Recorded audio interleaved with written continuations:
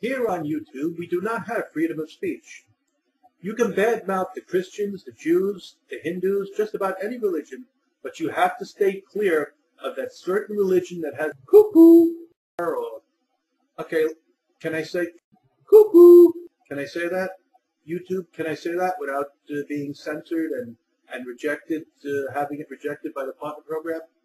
Okay, well, anyway, oh, oh, by the way, the Cordoba house in, in uh, Manhattan, uh, it has nothing to do with Cordoba, Spain, and cuckoo conquest of, uh, of what is now Spain, and uh, how they built a mosque on a Visigothic church in Cordoba, Spain in about 700 AD as a sign of uh, triumph and to further humiliate the conquered peoples there. But, uh-oh, is that going to get me rejected from the partner program too?